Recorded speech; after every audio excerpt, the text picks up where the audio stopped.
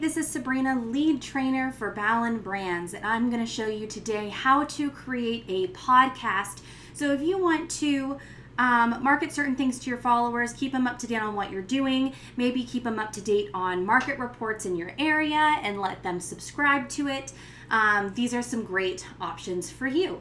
So, um, Apple has certain requirements that they require if you want to put podcasts into iTunes.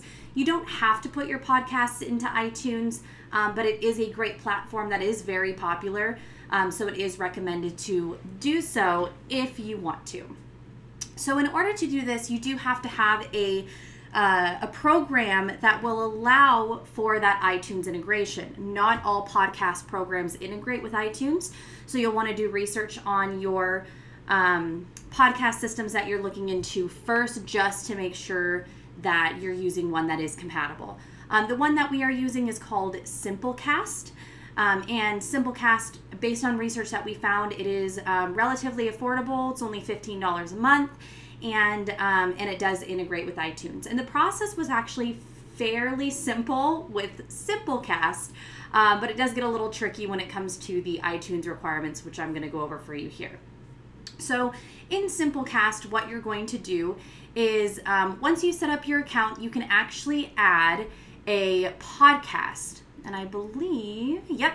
So if you go down to your name at the bottom, um, there is an add a podcast section. Now, when you're first setting up your Simplecast account, this is on the home page, so you you shouldn't have to um, see this screen. We're only showing up here because we already have a podcast. So you'll add a new podcast. And then it's going to ask you to set up all the podcast settings. Now, you're going to want to look at Apple's requirements um, for the settings. It does require a description, a title. You want to make sure that your description matches what the um, what the podcast is that you're doing. You can type in certain keywords that are relevant to your podcast, your website, author, owner. Um, the artwork we'll talk about in just a second. The categories that make sense for your podcast that you're doing, and um, and then your time zone and all of those details. So you're going to want to go through that first. Then you can go into your episodes It'll give you the option to see what episodes you already have, and then there's a button at the top to add a new episode. So you'll want to title your episode. You can choose the episode number. So I already have three episodes so far, so this would be number four. That number changes automatically to keep it nice and simple for you. You can put in your published date in here. You can change that to any date that you want. So, because we had just created this um, podcast recently, we went ahead and backdated our previous podcasts to the date that we actually did the podcast. Um, and then you can even hide the episode if you decide that you don't want to show it anymore. It won't show up on the podcast. Um, you have a summary, a description. The description typically includes the summary and then some additional details for those viewers. Um, this is going to be a great place for you to put a link, maybe to a blog post or something with more information. You can put the author if there's a different author. If not, it will default to the author you set up in your podcast settings. You can put in keywords here specifically for this episode. Then you're going to upload artwork and the MP3 file. Okay, um, so that is how to set up the episode. Now, the artwork, um, Apple does have requirements of having the artwork be at least 1400 by 1400 pixels with a maximum size of 3000 to 3000, 72 DPI, and it needs to be a JPEG or a PNG. So here's what I did. I went to Canva. I uh, set up use custom dimensions and I typed in 3000 by 3000 okay? And um, I've actually already got one set up over here, so I'm going to go ahead and go into that one. And you can see at the top it says 3000 pixels by 3000 pixels. I went ahead and just did the maximum because why not? Um, so you're going to create your image in Canva. Um, you can set your um, your pictures, text, anything that you want in there. Um, we do have separate trainings on Canva at loriballen.com if you're interested in learning more about that. Um, so once you have your image, what you're going to want to do is go ahead and change the DPI of the image so it matches Apple standards. Um, so I found this cool one, convert.town slash image dash DPI. So if you go to that, and I just did a Google search for changing the DPI of an image, and this is what popped up. Um, it asks you to put in the new DPI value, which is 72 based on Apple's requirements here, 72 DPI. I uploaded the image I created from Canva. It will download a separate image for you. So I'll go ahead and go through those steps here just so you have, uh, have that as an example. So I uploaded it, it's thinking, and now it's downloaded. Okay, so this is the image that we want to use. It's still 3000 by 3000 pixels. It's just a, uh, it's got a different DPI value. Um, so then you're going to use that in Simplecast and you're going to upload the artwork. If you have artwork in your podcast settings here, um, which again, same requirements with the DPI and the and the size. Um, this artwork will show up by default in any new episode that you add, unless you add a different image here. Okay, so you don't have to have a different image for each episode. You can use a default, or you can create uh, a new image for each one. Then you're going to add your episode audio file, which is an MP3, M4A, or WAV file. Um, so if you already, um, if you recorded it as audio, um, cool, go ahead and upload your file.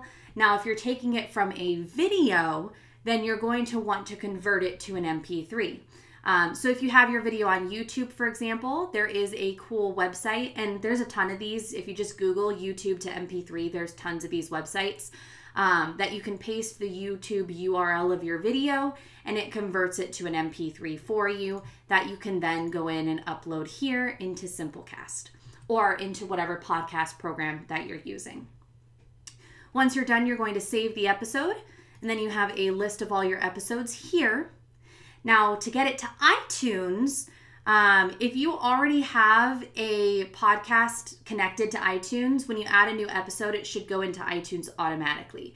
But if you're setting it up with iTunes for the first time, in Simplecast, there's a sharing section, and they give you this RSS feed uh, URL. Now, what you need to do is you need to go to um, itunesconnect.apple.com um, and ours is actually a podcast. Let's see, where's the podcast URL here?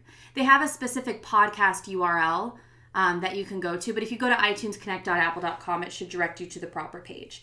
And you're going to go ahead and log in with your Apple ID and password. Now, this can't be a brand new Apple ID. It has to be an Apple ID that you have used before in the iTunes store um, I tried using a new Apple ID and it didn't work. so, um, oh, and mine disconnected somehow. That's weird. Um, so you're going to take that RSS feed URL here.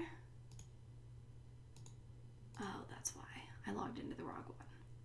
Um, that was actually my new Apple ID, how I said the new Apple ID wouldn't work. So I guess it takes a couple days for it to connect. So you can use a new Apple ID, just give it a couple days and it'll, um, it'll pop in for you. All right, so you're gonna paste that RSS feed URL here. Once it's done, then what it's going to do is it's going to analyze that link and it's going to tell you whether it passed inspection and is being sent to iTunes for review or whether it failed the inspection. And if it failed, which mine did on the first try, it will tell you why it failed. And mine was because I forgot to go into my settings and set up a description for the actual podcast itself. So it'll tell you why it failed. Um, then you'll get an email from Apple once it's done saying, hey, um, it's been approved. Uh, you can go ahead and view it in the iTunes store. So then I can go into the iTunes store here. Let me view in iTunes here.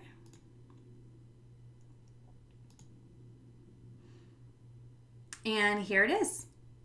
So people can get single podcasts if they are interested, or they can subscribe.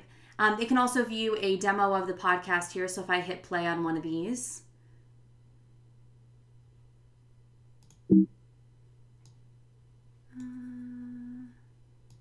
fact, um, Keller Williams is where I wanted to go.